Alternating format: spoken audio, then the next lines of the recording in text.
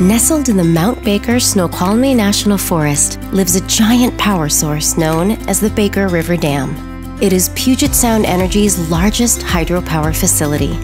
This year marks the 10 year anniversary of PSE being awarded a 50 year federal operating license for the Baker River Hydroelectric Project.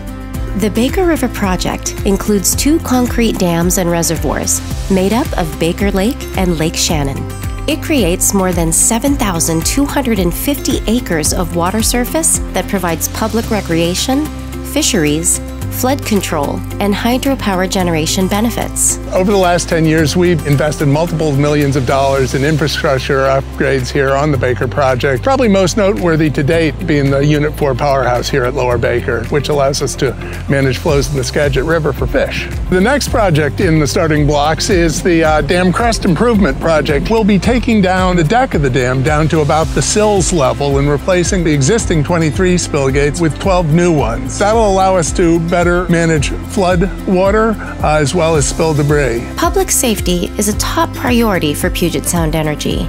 Our dam safety team constantly monitors our dams and conducts tests to ensure structural integrity. Today we're doing a spill test and we're going to open up uh, multiple gates at Upper Baker Dam when we have full head or a high lake elevation and it's going to help us understand how is the dam operating when we're moving this much water in a controlled environment.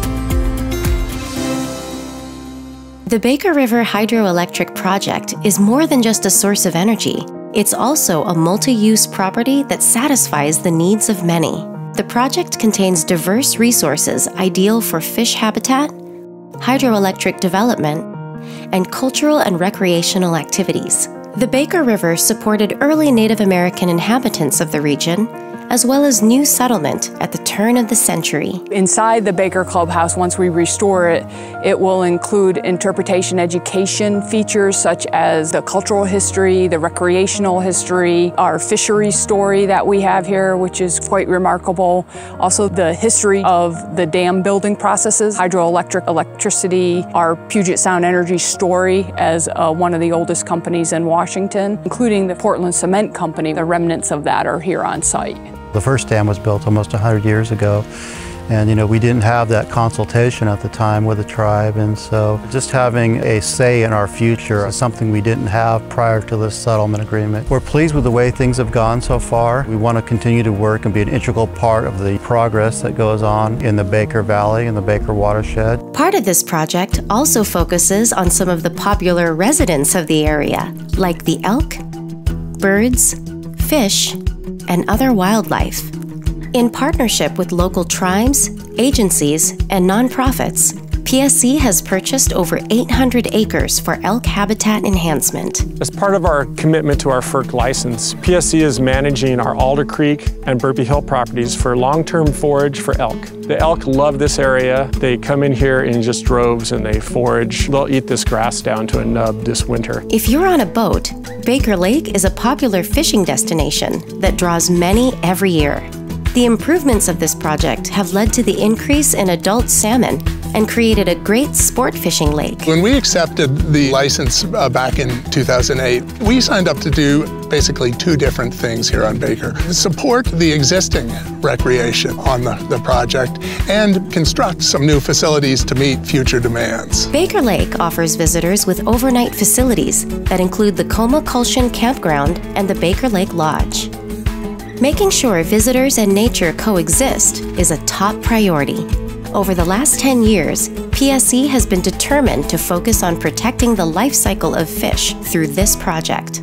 As part of our license, PSE invested in floating surface collectors to help juvenile salmon migrate out of the project, into the Baker River, and out to the ocean.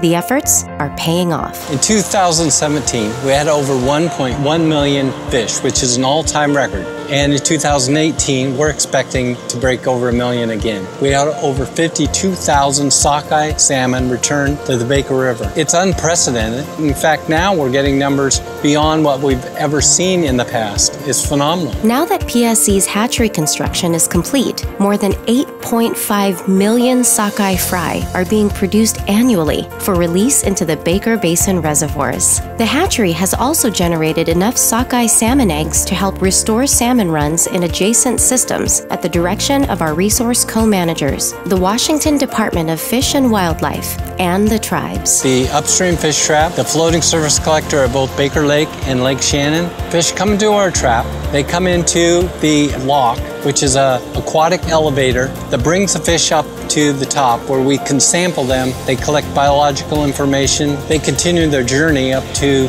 the tributary streams where they spawn. And then they're brought up to Baker Lake and released. It makes me feel proud to be part of a system and a project where they care about fish and they care about doing what's right. It's exciting to know that we've been restoring the salmon and bringing them back. Under the federal license, PSE is dedicated to making improvements to the Baker Lake Hydroelectric Project over the next 40 years to ensure Baker Dam is a safe and viable place for everyone while improving the surrounding environment.